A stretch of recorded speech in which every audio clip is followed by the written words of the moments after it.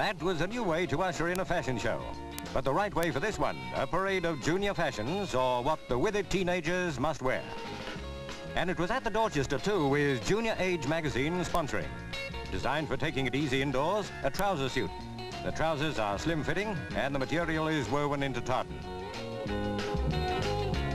Cathy McGowan of Ready Steady Go fame has designed her first collection for this show. This attractive TV star is a girl of many talents. One of Cathy's creations, modeled by Pat Phibbs, is a long-sleeved print dress, excellent for being vaccinated. Another of her designs was modeled by Angela Gosling, a Courtelle striped dress.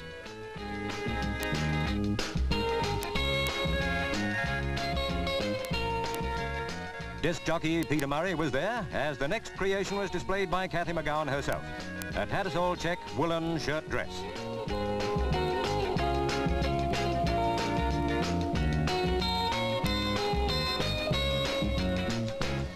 Carnaby Streets never imagined years ago it would be a fashion centre, and it's worlds away from the Dorchester. It's the street where all the withered boys go for the expensive outfits the chicks dig. No use having a good leg if the trousers aren't cut to show it.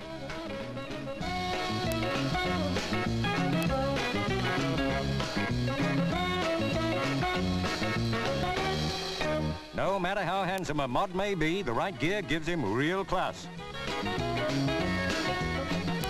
No wonder Carnaby Street's doing big business. They daren't fall behind in the fashion race. In case of doubt, they can always get advice from the chicks. Let's face it, the teenagers of both sexes have set the pace in the sartorial revolution.